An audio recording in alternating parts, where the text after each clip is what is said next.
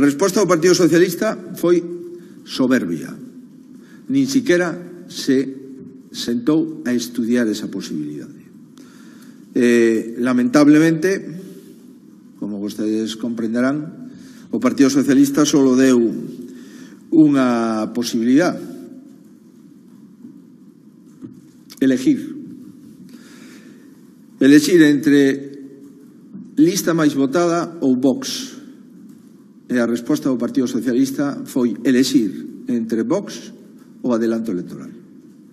En este contexto, polo que sabemos, o presidente Mañoco acaba de evitar un adelanto electoral na comunidade autónoma en la Junta de Castilla y León. Evitar un adelanto electoral nun momento de crise internacional, de crise nacional, creo que é perfectamente lexítimo por parte do presidente Mañoco, que é a quen lle corresponde tomar as decisións para garantir a estabilidade do goberno en Castela León.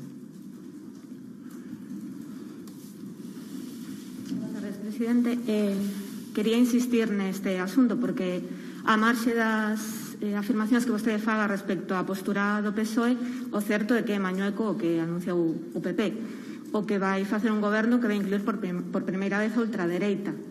Creo que, se non me equivoco, é a primeira rexión de Europa que vai incluir a ultradereita.